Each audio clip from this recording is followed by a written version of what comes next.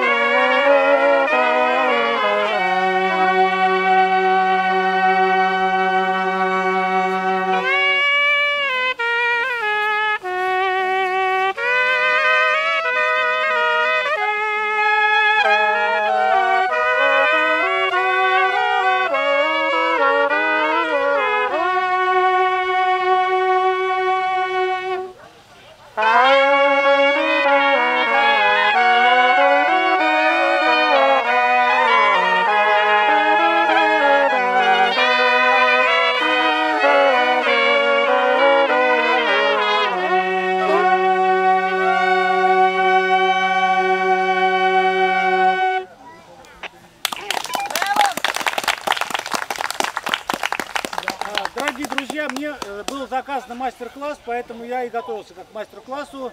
А, Значит, наш мастер-класс будет посвящен а, уникальному инструменту, который, а, который, я бы сказал так, должен представлять Россию э, рожок, а не балалайка. Вот рожок это уникальный русский инструмент, не имеющий аналогов в мире по его виду и по способу использования. Вот, а, к сожалению, сегодня вот рожок находится в таком вот а, несколько забытом э, состоянии, но э, я надеюсь, что рожок все-таки будет у нас подниматься. И э, сегодняшняя наша лекция как раз будет посвящена вообще рожку как, таково- как таковому, откуда он пришел, ш- откуда появился, что на нем играли, как вот он развивался, для чего нужен был рожок и так далее. Вот, если вам будет неинтересно, вы сразу говорите, мы поменяем тему, по- можем побольше поиграть, можем поплясать. А научиться можно будет играть? Научиться можно лет через пять. Ну, Это самый оптимист. сложный музыкальный инструмент из того, что есть на Руси. Итак, э, Владимирский рожок. Во-первых, я хочу представить ребят, кто будет сегодня участвовать. Это студенты э, музыкального колледжа имени Мусорского. Вот. И если они будут хорошо играть, то в конце я расскажу, кого как зовут. Вот. Сразу хочу сказать, почему мы вот такой одежде, а не в русских костюмах, как вот многие из вас. Э, Это моя позиция, в общем-то, я стараюсь э, нести ее, объяснить, что мы не играем в старину. А я хочу сказать, что для меня рожок, и для ребят тоже, что это современный инструмент. Это инструмент, который живет сегодня, э, который красив сам по себе, на котором приятно музицировать. И поэтому мы вот современные люди, современные люди с 21 века, совершенно не стесняемся играть на этих инструментах. Более того, мы любим это. И да.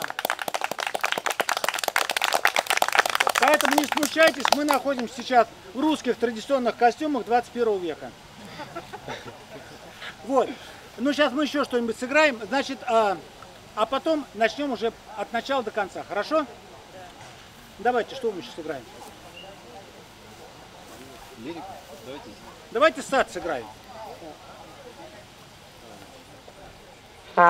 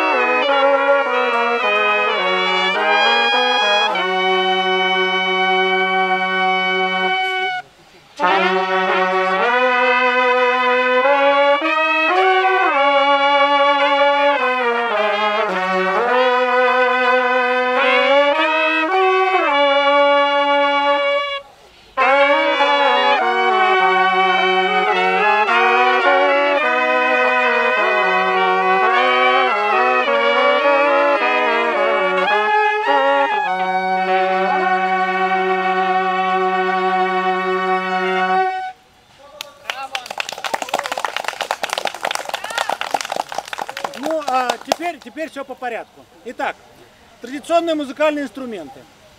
А, рожок, в частности. Вот а, давайте поговорим первое. О чем? Для чего нужны тради- музыкальные инструменты вообще? Вот какова их основная сущность? Для чего они? Для дела, Для дела, понятно. Для какого дела? для поступов. Чтоб душа пела. Сигналы подавать поступки. Правильно. Значит, а, для трудов- трудовая, да, есть э, сущность, да, инструментов, направленность. Еще какие, какая может быть?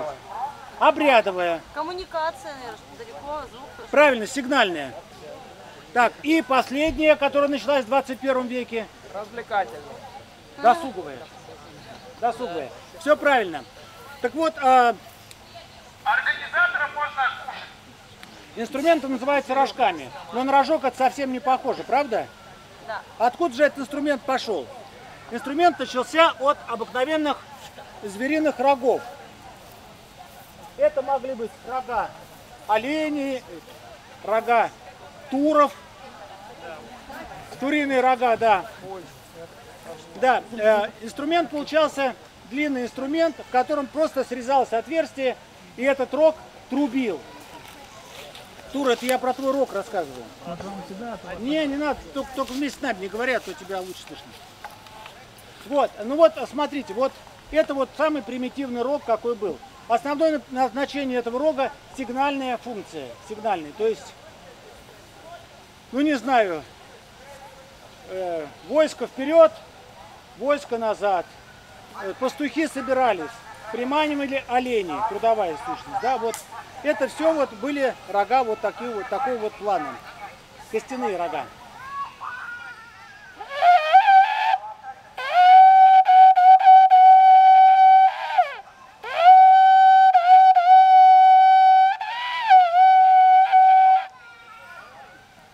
Громче, чем голос, правда?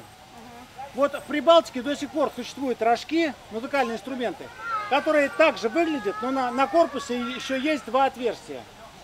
И на этом рожке уже можно играть какую-то мелодию с помощью губ.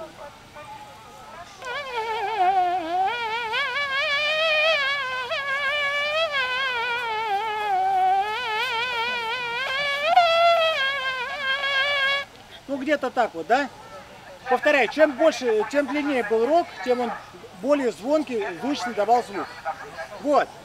А постепенно рожки стали использовать уже, э, делать из дерева или из другого материала. Вот в Смоленской области рожки, рога, или их называли еще трубы, делали из, э, из нет, не бересты, вот как раз из бересты не делали, а делали из ольхи или из, из липы.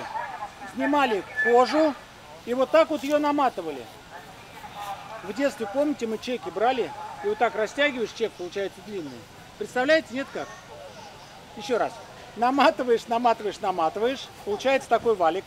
В середине держишь и вытягиваешь его. Получается такой кулек, да. И вот эти трубы смоленские пастухи использовали. Эти трубы а, были по 2 метра, по полтора метра. Причем интересно, они делали их из ольхи, и время жизни этого инструмента было до того времени, пока ольха не рассохнется. Дальше она пересыхала, и инструмент разваливался. Когда Старостин спросил, Сергей Старостин спросил, а что вы из березы не делаете? Береста-то она не рассыхается. Они говорят, да, из бересты, это надо подумать. Вот. И так продолжали делать. Так исторически сложилось. У нас такого рожка нет, но у нас есть рожок наподобие деревянный, который выглядит вот так вот. Это традиция ближе к Смоленску, ближе к западу. А, это тоже рога, тоже трубы. Длина их может быть абсолютно разной. Чем длиннее инструмент, тем больше он играл обертонов. То есть он мог играть разные звуки на передувании. Сильнее подуешь, звук повыше. Э, тише подуешь, звук пониже.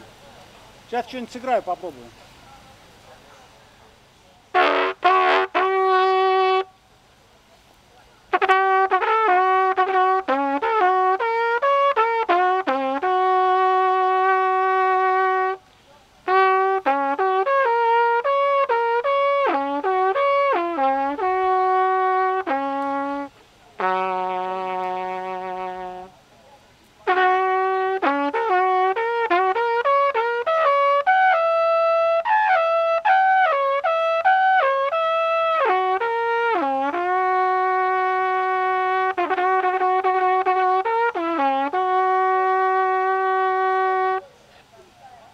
Можно сыграть что-нибудь знакомое, да, вот из сигналов. Ну, все время говорим, да? Ну да, давайте такой сыграем.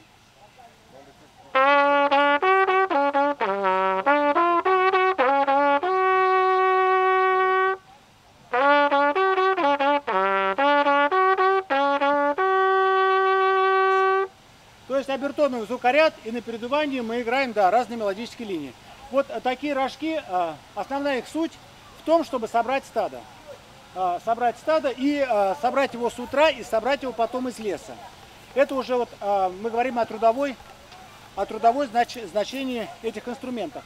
Давайте мы еще что-нибудь сыграем, пока ребята отдохнули, а потом опять уже продолжим наш разговор. Вам пока не скучно? Интересно. Хорошо. Вы уже выбрали, что играть будем? С пением или как? Пока играем? А давайте просто сначала поиграем, потом уже с пением будем.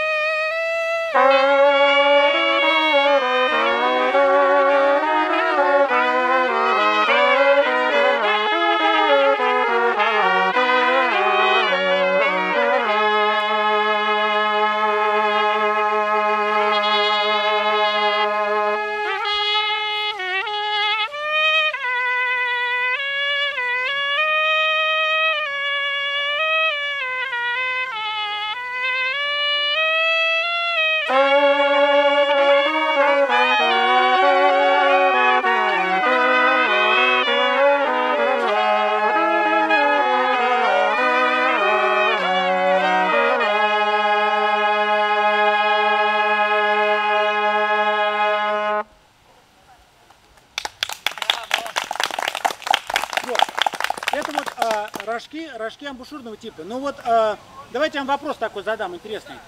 Ну или не интересный. Вот все вы знаете песню такую. А, а, придет пастух-пастушок, пастух великий дружок, ты скотинушку паси, да? Э, ночевать ко мне ходи. Э, значит, пастух выйдет на лужок, заиграет ворожок. Хорошо пастух играет, выговаривает. Вот смотрите, это у меня рожок. Это у меня рожок. Это у меня рожок. Так, это у меня рожок. Ну ладно, чтобы, чтобы быть более э, значимым,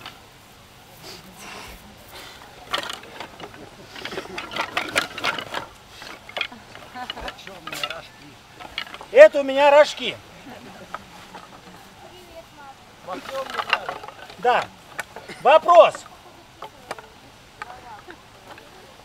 На каком рожке играл пастух? От региона зависит. Вот это да. Он знал. Да, действительно, от региона. Смотрите, значит, интересная штука с рожком получается.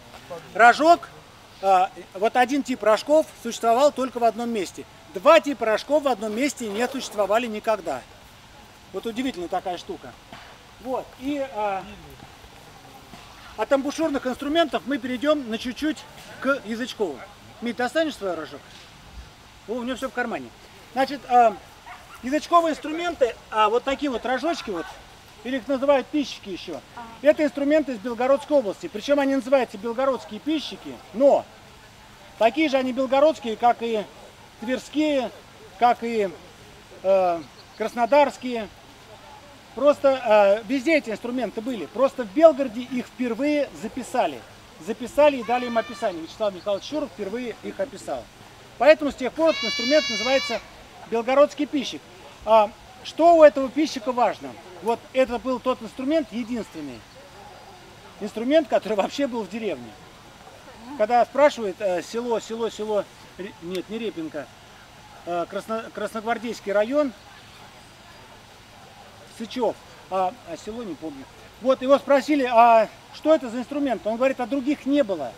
Как на инструменте заиграл с утра, так знаешь, что пора коров выгонять. Как женщины, говорит, идут, на инструменте заиграл, они сразу начинают плясать. То есть вот такой инструмент. И больше другого ничего не было. Вот единственный инструмент. Значит, а что в, в нем еще важно? Вот, вот этот вот язычок, вот этот вот язычок, а, он является источником звука.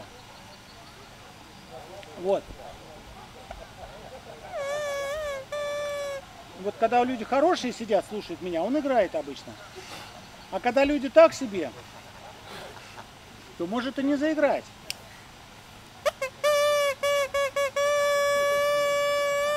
Но так вот он сомневается. Сейчас проверяем до конца уже. Расист может.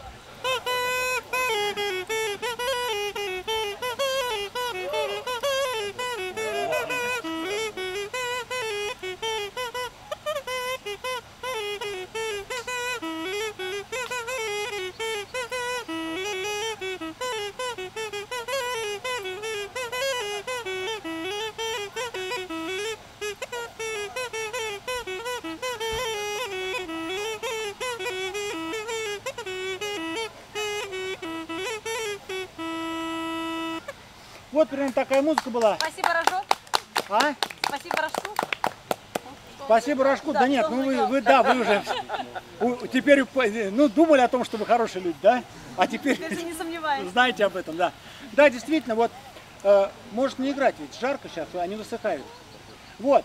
А, вот этот вот инструмент, это вот Белгородская область. То есть в Белгородской области других рожков не было, только эти. Но мы перемещаемся немножечко по реке Псел из Белгородской области в Курский, Курскую область. И там уже рожки другого типа. Пос- покажи, Мить. Все. Ну давайте я свой покажу, а Митя поиграет. Смотрите. Значит, от этого пещика у нас остается всего-навсего одна вот эта часть. Видите? Маленький вот такой вот с язычком. Видно, да? Вот. У меня уже скоро разлетится он. Кстати, вот этот рожок, он сделал, сделал его дед Егор э, в Плехово, 84 года ему было, мой учитель. Вот. Он выступал в Москве на концерте в 97 году. Вот, после концерта вышел, сказал, на, Борик, играй. Вот этот инструмент я берегу уже сколько, получается, 25 лет почти.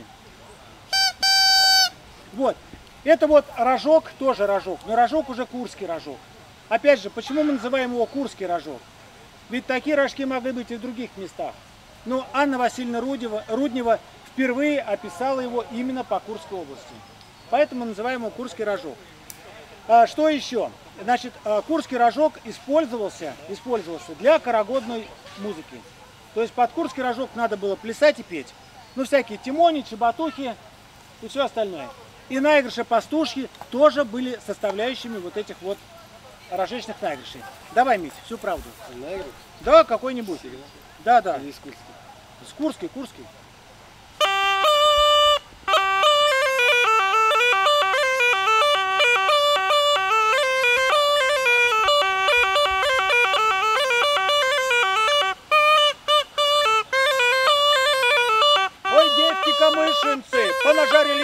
Яишенцы, по старому закон повели, целую хату казаков навели. Тихо, тихо, хорошо. Оп. Нашли, да?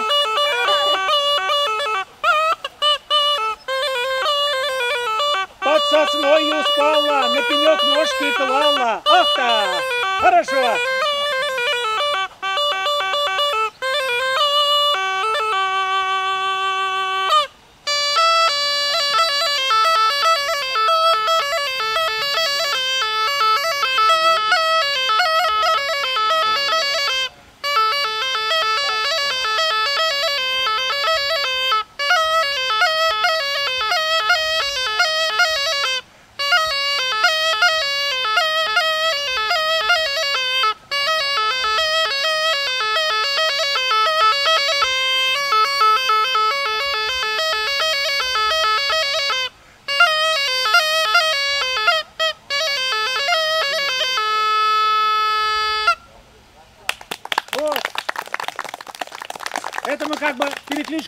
Пастухов сделали.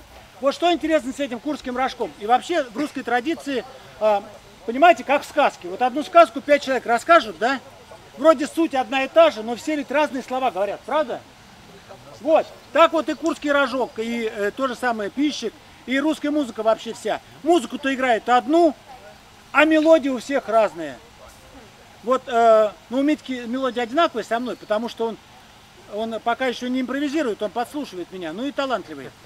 Понимаете? А дед Егор рассказывал, как он учился играть на рожке. Он говорит, я на бугор заберусь, за кустами, говорит, сижу, слушаю, как взрослые тимонию играют. С бугра спустился, что-то вспомнил, то повторил. Потом опять забрался, послушал, опять спустился, ну что-то повторил правильно, что-то такое перепутал. Ну вроде бы Тимоне получается, но уже свой наигрыш. Правильно? Вот. Вот таким вот образом получилось, что сколько, э, сколько человек играет Тимоню, я имею в виду не нас, инкубаторских музыкантов образованных, да, а, а тех, э, которых мы генерируем с каждым годом все больше и больше, да, а тех музыкантов, которые в деревне. Вот будет 100 музыкантов и будет 100 разных Тимонь, будет 100 разных мелодий. Баба Даша в Курске, в Плехово, она слушала рожок и говорила, «А, что это играет дед Крюк? Нет, это играет дед Егор, а это играет тот, а это играет тот. То есть она, не выходя из дома, знает, кто сегодня пасет. Представляете?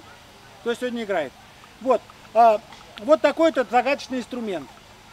Значит, это вот у нас, смотрите, основное отличие курского рожка – это тростниковый пищик и маленький рог.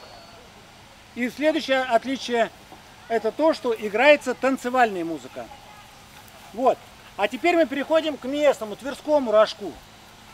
Считается, что тверской рожок, основное его главное отличие, это деревянный пищик, но ореховые пищики были и в Курске. То есть ореховые деревянные пищики могли быть и в Курске. Но второе главное отличие, это то, что рог у него, вот рог деда Егора, который дед Егор сделал. И вот рог тверского рожка. То есть получается большой рог дает большие, большие обертоны низкие. Вот. Ну давайте я Митьке дам, пусть Митька что-нибудь сыграет. Он на нем ни разу не играл, он вообще его впервые сегодня видел.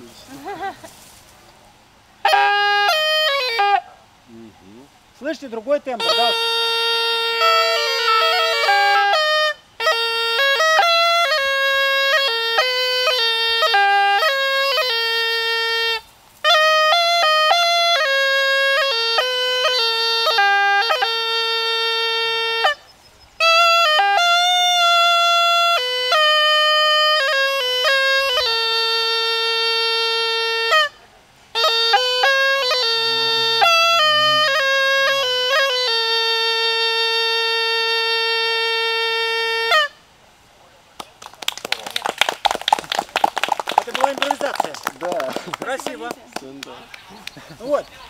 Смотрите, вот, а, э, нет, сейчас еще что-нибудь сыграешь. Вот смотрите, то есть этот рожок, он нужен для чего?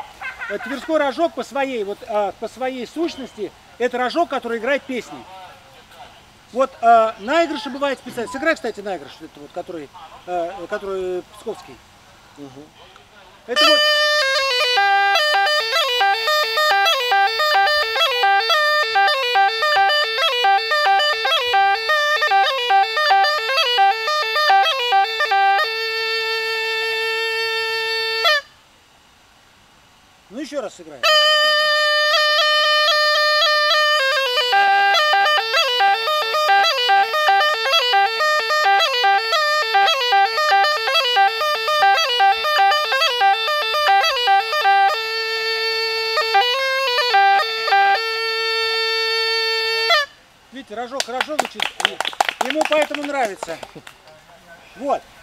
ну вот смотрите, вот а, на Тверском рожке играли песни. То есть вот как бы песня поется, вот как она поется, так она и играется. То есть фактически пастух выходит на рожке и играет какую-нибудь песню.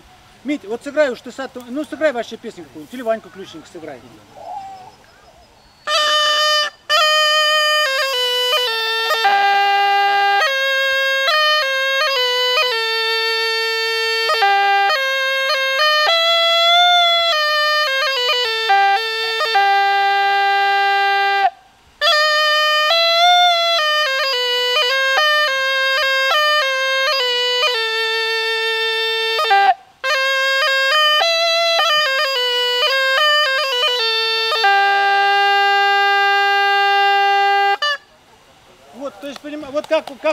Пел бы, так играл.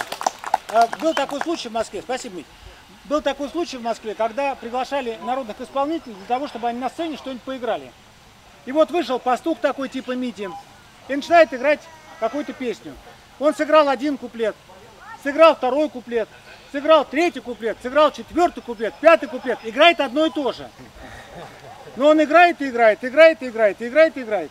Потом остановился, ну, а там же образованные все сидели, это Дом Союза композиторов в Москве. Подходит к нему, так, с подковыркой. А что же вы дальше-то играть не стали? Ну, типа, одно и то же, играл бы, играл бы. И этот пастух, который приезжал, он абсолютно серьезно сказал, вы знаете, я дальше не помню слов. То есть для окружающих-то он играл мелодию одно и то же. А внутри-то он пел эту песню. Понимаете? Вот такая вот интересная получилась история. Вот. А, Это вот язычковые рожки, язычковые рожки. Ну и теперь мы перейдем опять к амбушюрным рожкам. Значит, а, амбушюрные рожки, они самые лучшие для пасьбы. И пасли с амбушюрными рожками. Что значит амбушюрные? Потому что у них нет язычка, у них есть вот такая вот дырочка. И есть чашечка, в которую вкладываешь губы, и с помощью вибрации губ получается вот этот звук. Вот. А, Сложное из- звукоизвлечение, но в принципе вот можно научиться. Вот. А, Значит, а, самый вот древний амбушюрный я показал, это мог быть рог, вот я говорил, да, про него, или вот а, длинный рожок, вот этот длинный, тоже их называли трубы или рога тоже называли. Вот. Но потом с, с- с учетом времени стали появляться игровые отверстия. И игровых отверстий стало 6. Опять же, вот до сих пор все музыканты спорят, каким образом эти отверстия появлялись, какой последовательность, какой диаметр и так далее. Это такие разговоры, которые не лежачего. Вот, так и не выяснили. Шесть отверстий. Почему? До, ре, ми, фа, соль, ля, си и опять до. Да, то есть идет э, игра на передувании. Вот, а, это рожок, который а, пастухи используют в своей работе. Более того, значит, а, после, э, после смерти Пятницкого, в хоре Пятницкого производился набор, в хоре Пятницкого, производился набор э, рожечной группы. Ну, не рожечной, просто набор людей, чтобы было больше в хоре людей. И стали приглашать наиболее талантливых людей. То есть кто вот, э, кто умеет плясать, петь. Ну а так как у нас колледжа не было, институтов еще не было, поэтому э, шли все, кто, все, кто в деревне плясать, петь умел, все шли и туда вот, чтобы работать, чтобы артистами стать. Вот, и а такой Николай Гуляев был. Здрасте. И Николай Гуляев, он э, приехал из Ковровского района Владимирской области. Э, его спросили, комиссия сидела, комиссия, его спросили спеть, он спел, сказали, ну так, неважно вы поете, что, а плясать вы умеете? Он говорит, да, могу плясать, я первый плясу на деревне. Ну, сплясал он, говорят, ну так себе сплясал, в общем. А на каком-нибудь музыкальном инструменте вы умеете играть? Он говорит, нет, ни на каком музыкальном инструменте я играть не умею. Категорически. Ну, говорит, тогда вы нам не подходите. И он э, повернулся и стал уходить из этого зала. Ну, типа, попрощался, а на, на стене висел рожок. И он увидел рожок, и взгляд на рожке задержался. И у одного члена комиссии, кто-то из членов комиссии, он этот взгляд перехватил. И он спрашивает, что, знакомый? Он говорит, ну конечно, это наш Владимирский. А играть умеете? Конечно. Ну вы что-нибудь сыграйте. И он взял рожок и сыграл «Уж ты сад, ты мой сад». И вот этот вот Николай Гуляев, он потом стал заслуженным артистом СССР в составе хора Пятницкого. Он самым ведущим был исполнителем в духовой группе. Представляете? Но когда его спросили, вы умеете играть на музыкальных инструментах? Он сказал, что нет. То есть рожок это не музыкальный инструмент, это инструмент для пасьбы скотины. А в, тысяча, а в середине 19 века талантливый пастух Николай Васильевич Кондратьев а, собрал, кинул клич вокруг себя, собрал рожечников. Все, кто умели играть на, рожки, на рожках чтобы сделать сводный хор рожечный, чтобы играть, э, ну, как будто поют, то есть играть музыку, играть русскую музыку, музыку, с которой они жили, с которой они росли. И вот на его клич собралось больше ста человек. И эти сто человек стали играть в рожки. Стали играть, стали репетировать. И вот э, за неспособностью, за неспособностью к ансамблю музицированию, за неспособностью пристраиваться, а, потихонечку стали по одному, по другому выгонять. Кто-то сам уходил. В конце концов осталось 30 человек, потом 20 и потом 11 человек. И вот этот вот хор, который так и назвали, хор под управлением Николая Васильевича Кондратьева, он и стал а, лучшим, так сказать, лучшим а, построением рожечной музыки.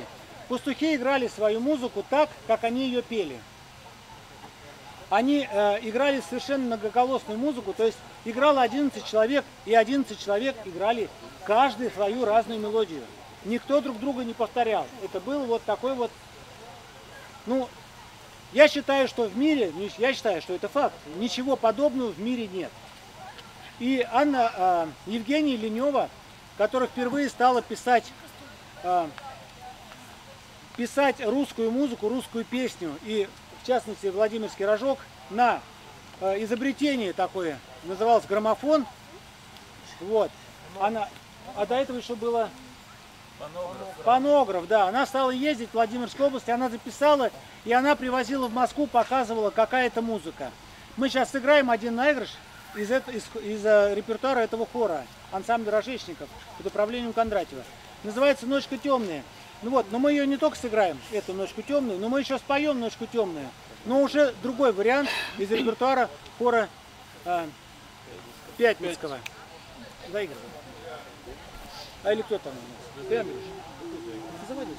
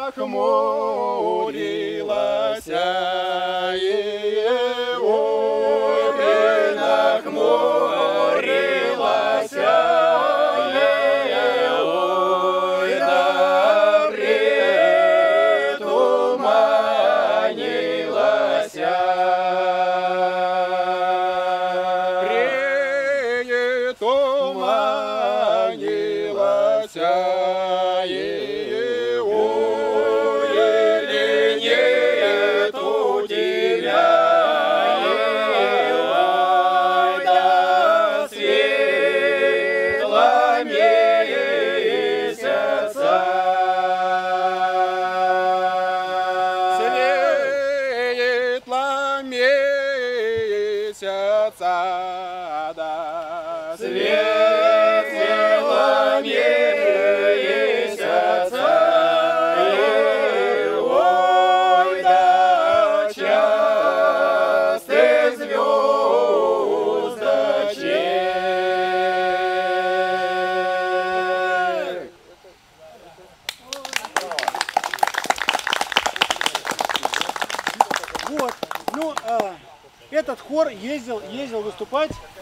На разные, в разные вот места. То есть он из- известен выступлением на нижегородских ярмарках, известен выступлением в Петербурге. В том числе он ездил еще и во Францию. Когда Николая Васильевича Кондратьева, а он умер в достаточно глубоком возрасте, спрашивали, ну а где вы, в Париже-то вы были? Он все время отвечал, были мы в Париже, были мы и ниже. Да.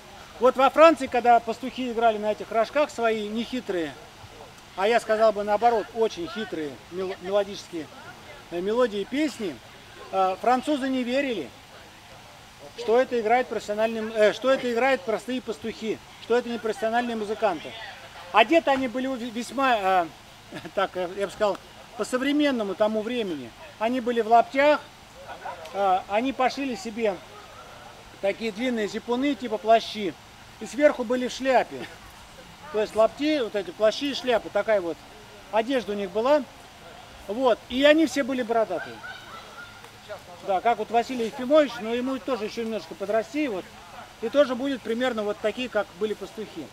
И французы для того, чтобы проверить, ряженые это или не ряженые, музыканты это или пастухи, время от времени украдкой подбегали и дергали за бить. Вот, на что пастухи очень, на что пастухи очень обижались. Очень обижались. Вот, но а, вот этот хор, он существовал до 23 года. После 23 года хор закончил свое существование вместе со смертью а, Пахарева. Пахарев это ученик Кондратьева, который руководил хором после того, когда а, Николай Васильевич Кондратьев уже не мог играть. Вот у вас у всех один и тот же вопрос. Почему некоторые играют по центру, да, вот, вот Андрей, например, да, Да-да-да, а некоторые играют справа, да, вот. Вот этот вопрос вообще у всех. он. Пастухи играли везде. Главное, чтобы были зубы. Где есть зубы, туда прижимается рожок. Рожок через, э, гр- играется губами, но прижимается он к зубам. Так что вот когда у меня вот эти зубы выпадут, я буду с этой стороны играть. Ну, а если все зубы на месте, то как, ну, как удобно, да? А если все зубы на месте, то сейчас дальше буду рассказывать. Итак, 23 год пастухи закончили. а, закончился хор Кондратьева. Вот. И, а, но рожок продолжал жить. И вот э, теперь мы немножечко поговорим о пастушьем промысле. Значит, что же такое пастушья жизнь? А, жизнь пастуха была тяжелая, но обеспеченная. Пастух э, был самым желанным гостем в доме, и э, пастух пас и ночевал в каждом доме по очереди. Ну или там два раза дом принимал. И вот для того, чтобы, когда пастух в этом доме ночевал, женщина готовила самую лучшую еду. она своих детей не докармливала, только чтобы встретить пастуха и накормить его как следует. Она должна была его накормить, напоить, уложить спать. Вот. Утром разбудить и дать, и дать с собой, и дать с собой, ну, ну, Вась, ну фантазия у тебя, и дать с собой на дорогу так называемый тормозок. То есть тормозок это яичко там, что-то такое, чтобы он мог пообедать. Вот, и так вот на следующий день э, в другой дом. Но, кстати, вот слово «пастушить», оно как раз именно об этом. Очень много пастушат, да, было. Вот. Э, Значит, э, пастух вставал раньше всех в деревне, выходил в деревню на то место, э, на край деревни, справа или слева, и играл на рожке какой-то сигнал. Ну, любой сигнал. Играл громко, старался играть погромче. Давайте мы эти сигналы сейчас изобразим. Итак, пастух играет. Давай, Митя.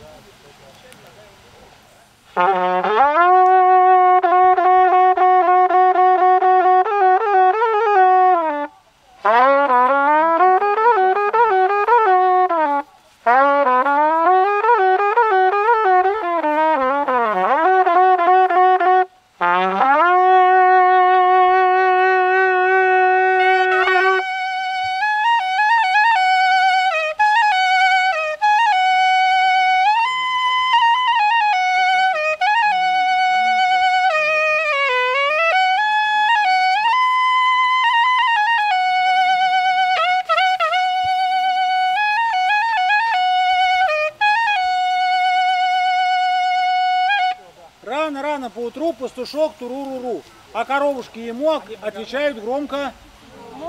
Правильно. Вот после этих сигналов коровы обычно у них слух тонкий. А в деревне, кстати, вот я сейчас играю, э, мне говорят о том, что хорошо я играл сегодня утром или плохо. Говорят на, на другом конце деревни, а это где-то 3 километра. Говорят, сегодня ты что-то неважно играл.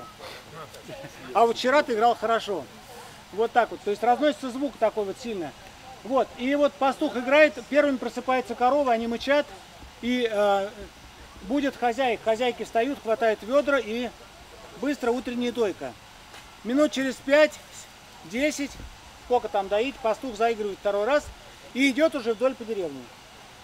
И вот, а когда пастух идет, он перед тем, как идти, он тоже играет какой-то сигнал. И вот э, перед пастухом надо выгнать скотину, чтобы пастух шел сзади стада, вот это ста- стадо выгонялось. Считалось, если хозяйка выгнала свою корову после пастуха, то это нерадивая хозяйка никуда не годится, замуж не выйдет, или наоборот, муж у нее будет пропоиться и так далее. Все старались успеть вот пастуху выгнать. Дальше, смотрите, вот а, когда пастух нанимался на работу, то пастуху-рожечнику платили примерно полтора оклада, чем пастуху, который без рожка. Спрашивается, а почему хозяйки готовы были переплачивать? А почему больше удои? Музицирует корова. Ага, она ходит, да, если как мы с плеером, так она с этим. Так она слушает рожечника. Нет, все не так просто. Смотрите. Значит, все поля, практически все поля, которые были э, э, без, без лесов, без деревьев, они были распаханы. И там росло что-то. И пасти коров там было нельзя. Коров пасли в лесу. А что такое корова в лесу? Пять метров отошла вперед, а дальше боится. Пастух боится, что корову не поймает, а корова боится, что ее зверь сожрет, либо она заблудится. Понимаете? И вот она ходит 5 метров от леса, всю траву вытоптала, она не столько съест, сколько потопчет, правильно? Вот, и вот э, после этого какой от нее надой-то? Ничего нет. А вот пастух с рожком, он корову в лес, коров в лес загоняет, и они там пасутся. Как их оттуда выгнать? Он берет рожок, играет на рожке 5-10 минут, и все, стадо к нему выходит на звук рожка. Причем, что интересно, если были в одном лесу несколько стад разных пастухов, то к этому пастуху выходили именно его коровы. Вот такие вот умные животные были. Вот. А что еще по рожкам? А, какой, какие были рожки? Какие бывали? Вот самый длинный рожок назывался бас. Вот э, спрашивается, можно ли сделать рожок еще длиннее? Как вы думаете, можно или нет? Если пальцы вот такие, Да, до, до отверстия уже не достанешь. То есть у меня уже предел. То есть получается, что самый длинный рожок мог быть примерно вот такой. Но может быть еще чуть-чуть. То есть это фа диез, тональность фа диез малой октавы. Вот.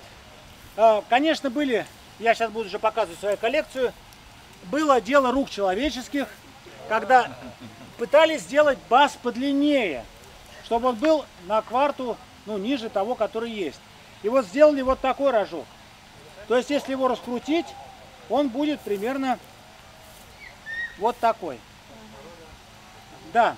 Вот. А чтобы пальцами достать, ну, очень неудобно на нем играть. Вот. Господи. Можно я не буду? а в Прибалтике вообще вокруг себя. Да? Ну так они прибалты. Горячие прибалтийские парни. Такая волторна на плечо надевается.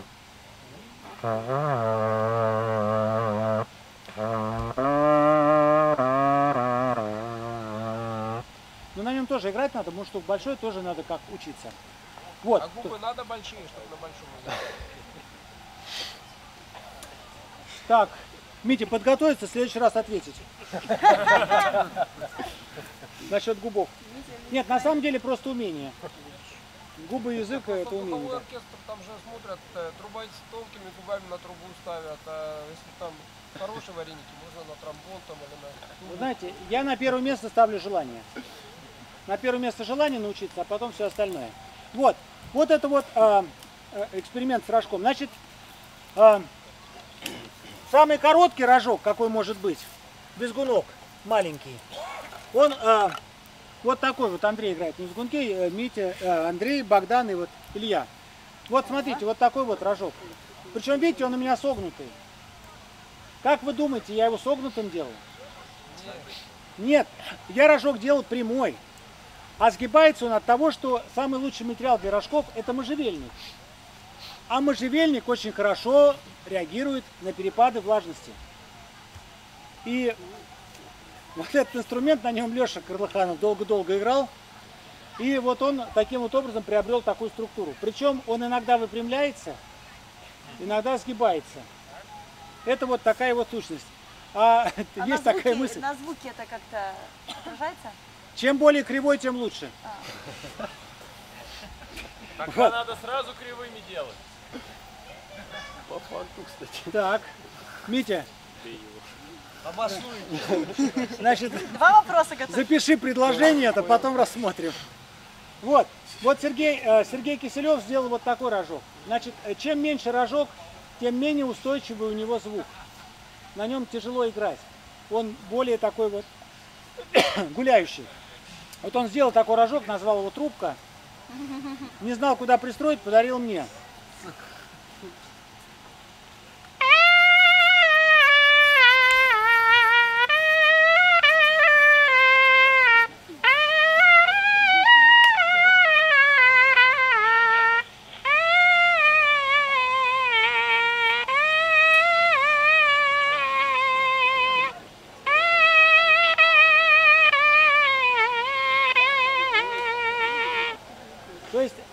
Очень неустойчивый. Берешь любое отверстие и дырок не нужно. Играй на нем так, как прибалты. Вот. Поэтому вот, вот это оптимальное состояние рожка, это вот получается самое вот оптимальное, это где-то фа диез соль. Вот, то есть вот антропологические данные говорят о том, что рожок может быть либо такой длины, либо такой. Еще рожки были средние. Они назывались полубаски. Они не басы и не визгунки, они вот такого размера, средние. На, на полубаске у нас Богдан играет замечательно. Ни разу не слышал, я ему только принес. Вот сейчас посмотрим, как он занимался без меня.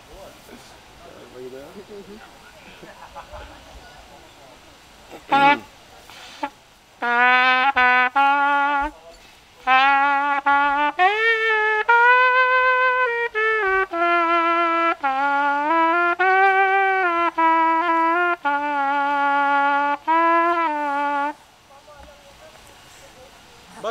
молодец.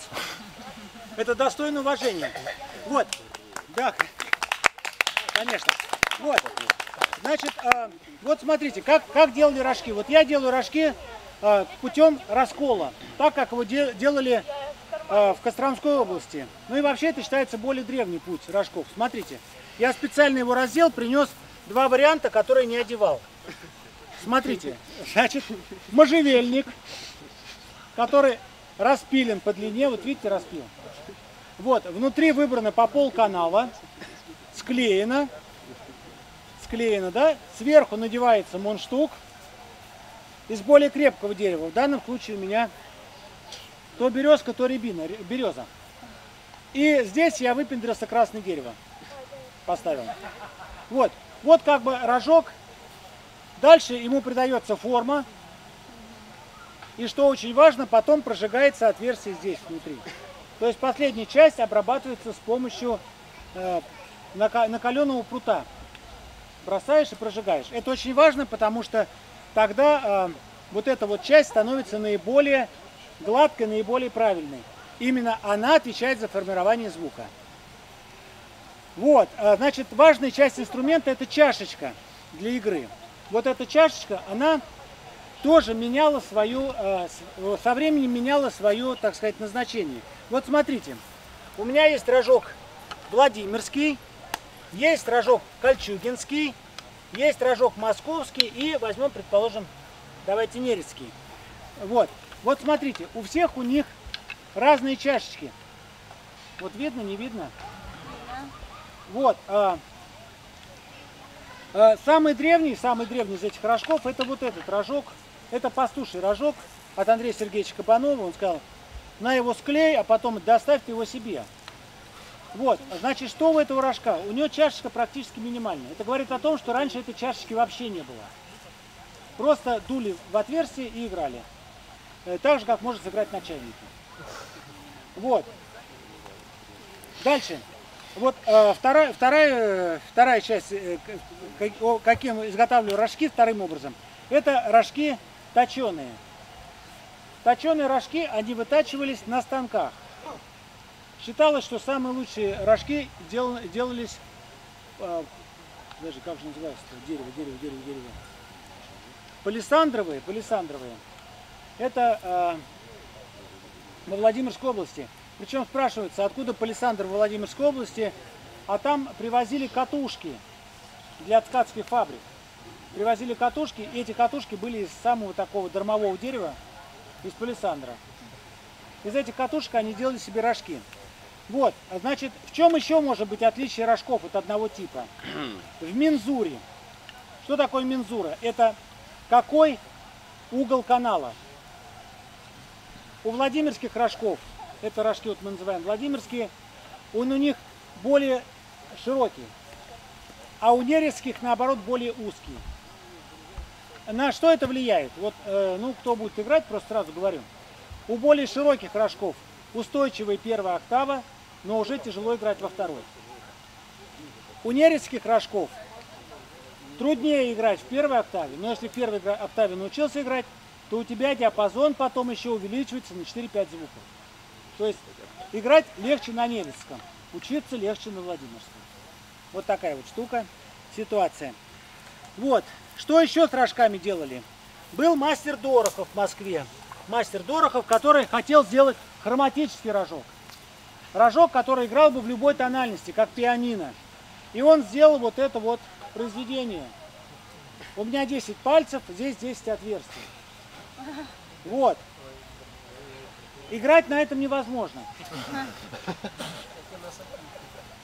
Вот, но они играли. У него был даже хор, который играл вот на этих рожках. Хромой хор.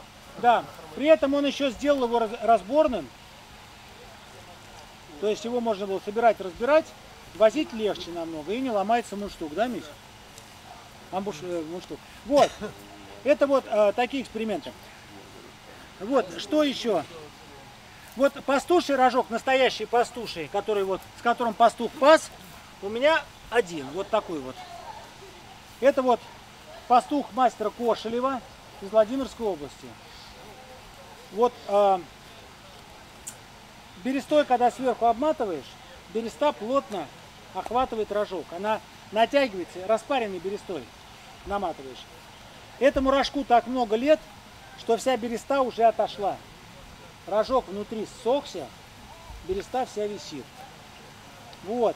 Более того, вот скорее всего этот рожок не склеенный.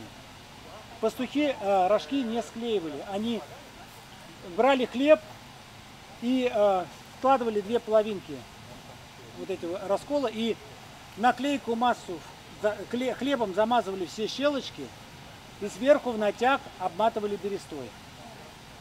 И вот этот вот рожок мог играть так же, как наши играют. Я не знаю, попробуй поиграть, но обычно он не играет.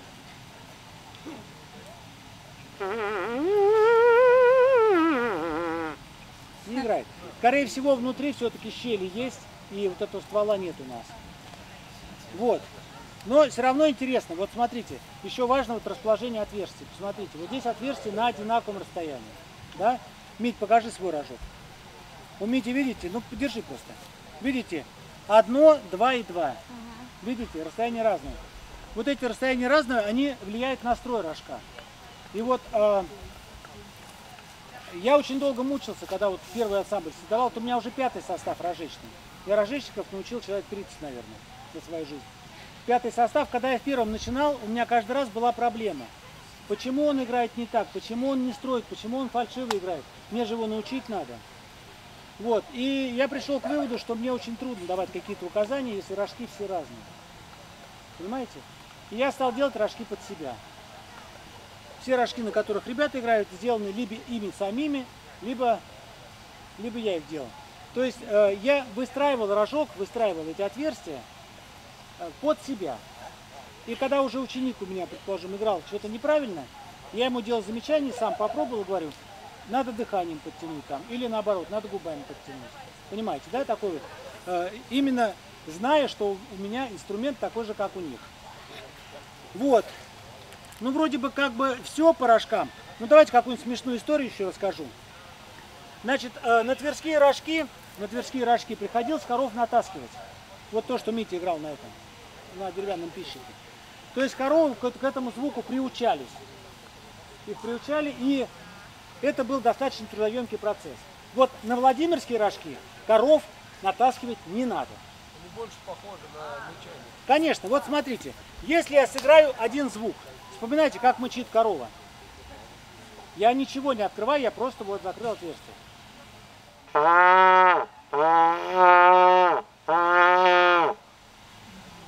Мычание, да, но когда корова идет с молоком по деревне и зовет хозяйку, она кричит так.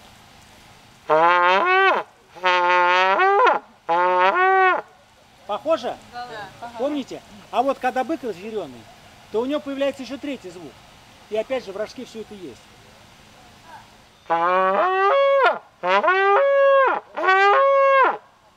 Похоже? Вот, когда в Англии я спросил, на кого похоже, они все хором сказали элефант. Элефант, точно, сло- на слона. Да. Да, да, да. Вот. И вот, а, что еще интересно. Ну, в жизни у меня были случаи, когда вот, а, когда на рожок вот приходили коровы. Однажды мы играли на берегу какого-то, какой-то речки. Маленькая речушка течет, и маленький бугорок, и такая лощинка за бугорком. И вот в этой лощинке мы играем на рожках с, с ребятами. Вот, потом вдруг слышим такое крепкое-крепкое русское слово. Причем такое громкое, вот истошные вопли просто раздаются. Непонятно в чем дело. Мы поднялись на бугор, смотрим, а там стадо с той стороны реки. И, значит, пастух пытается их остановить, а стадо уже идет в речку к нам плыть. Форсируют. Уже форсирует, да. И он, э, и он, понимаете, он их не может ни кнутом никак остановить. Коровы идут на рожок. Вот, Дима Ростопшов у меня э, на острове, э, на острове го- города Балтийска, там коровы сами по себе гуляют. Их никто не пасет, там деваться некуда, с трех сторон вода, а с одной стороны это колючая проволока, там немцы заграждение строили. Там такой вот участок, пятачок, и коровы сами по себе ходили. И вот э, Дима Ростопшов ходил у меня, играл упражнения. Просто ходил, играл это упражнение. Вот. И вдруг ни с того ни с сего мы с детьми строимся на обед. А в это время через футбольное поле на всех парах, значит, к нам несется бык. И этот бык потом целый день ходил вокруг места, где мы спали. Тыкался мордой. и Что такое Дима ему там сказал, никто не знает. Но бык почувствовал себя уязвленным. Вот. Ну и у меня случай еще в жизни был в Англии, вот когда мы, такой, я уже много раз его рассказывал, наверное, вы не слышали, а может слышали. Когда мы вышли играть на лужайку, и пришло стадо коров. Мы играли на рожках вдвоем с Кабаном Андреем Сергеевичем. Пришло стадо коров, и он мне играет, давай, говорит, ты играй, не останавливайся. Я говорю, да я уже устал. Ну, короче, эти коровы выстроились в ряд, бык чуть дальше.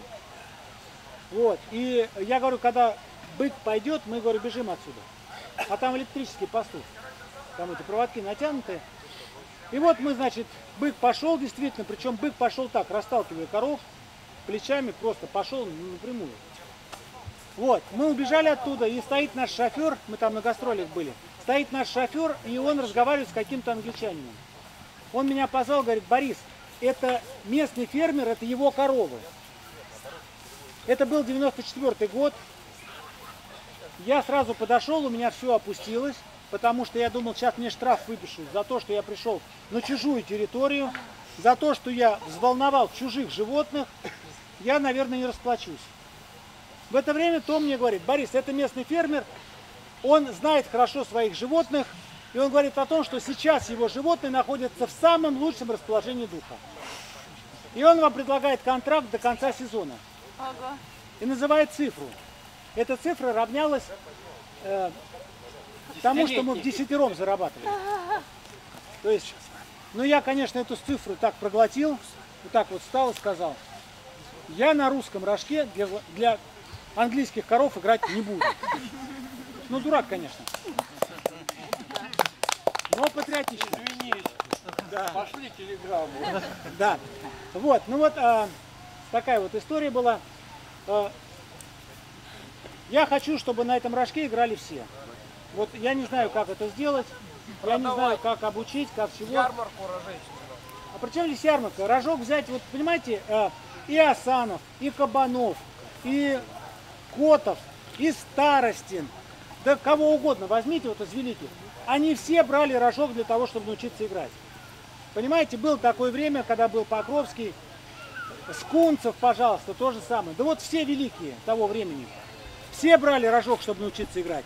А научились играть единицы. Ну, в этом и проблема. А можно вам совет с Украины Да. для вашего рожка, который ростовский? Там, когда на трембитах играют, они же тоже не склеенные. Ага. Они берут полстаканчика горилки, наливают перед игрой туда, она немножечко разбухает, А вот, а вот когда нет лужи и горелки, а с утра надо пасти, Нет. то, девушки, не- закройте не уши. Туда. Пастух прям туда, да. И после этого рожок играет. Это на самом деле так. Вот. Борис Серафимович, а, одну секунду. Друзья, нам просто там нас ждут девчонки на, этой уставе. прекрасной Нам ноте. нужно зайти туда мужиками. Поэтому, кто хочет, мужики могут пойти сейчас. Сейчас, три минуты и пойдете. А Все. Борис Серафимович, он продолжает. Мы сейчас закончим. Давай, последний, чтобы... Ну уже да. Три минуты идем. Ну, когда есть Борис Серафим, что бабу уже не интересно. Я понимаю. Хотя парламентарий... Все бабы тут слушают вас. Короче, я преподаю в Тверском колледже. Так что, пожалуйста, мальчишки, девчонки, дети, сыновья, братья, сестры, приходите учиться. У нас дерут и с музыкальным образованием, без музыкального образования. Главное, чтобы было желание. Я уже за 30 лет наблатыкался, могу играть, научить играть любого. Кроме того, кто не хочет. Чем основные сложности для обучения? А, терпимо выносить побои. Нет, на самом деле сложности такие. Вот надо просто надо пересилить 2-3 месяца. Как только звук ста- становится появляться, вы понимаете, красота этих инструментов в том, что вот возьмет один рожок, 10 рожечников, и 10 рожечников будут играть разным звуком, разным темпом. Понимаете? Вот рожок, кто что хочет сыграть, тот на нем то и сыграет. Такой вот это удивительный инструмент. Ну ладно, последний по улице Мостовой, да?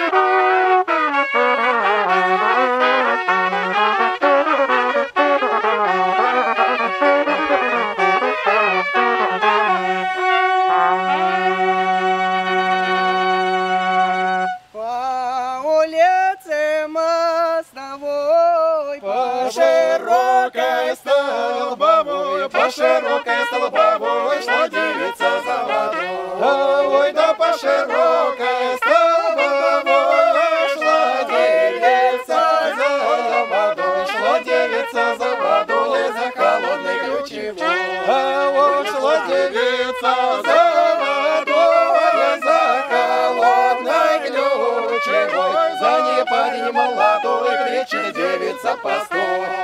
Ой, да за ней парень молодой кричит девица постой, кричит девица постой, красавица обожди. Ой, да кричит девица постой, красавица обожди. Пойдем вместе за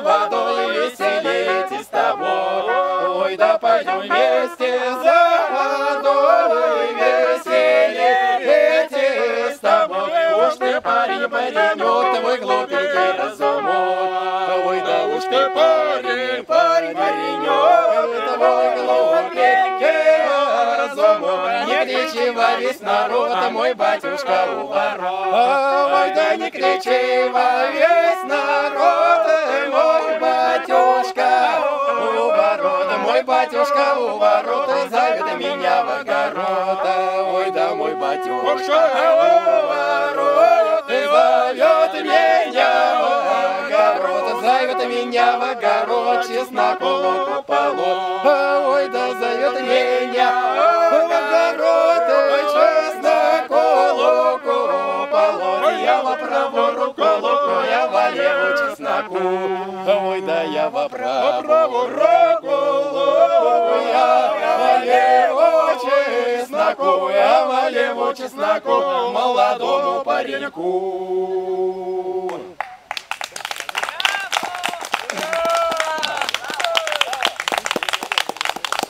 А, Ну, надеюсь, вам не было скучно. А, Спасибо за любовь к русской культуре в, в, э, в общем и за Владимирские рожки в частности. А, Всем здоровья, а, радости, э, как дед Егор говорил, счастливо оставаться, приходите еще.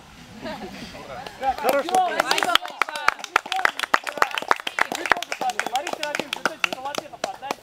Забирай. Пошли.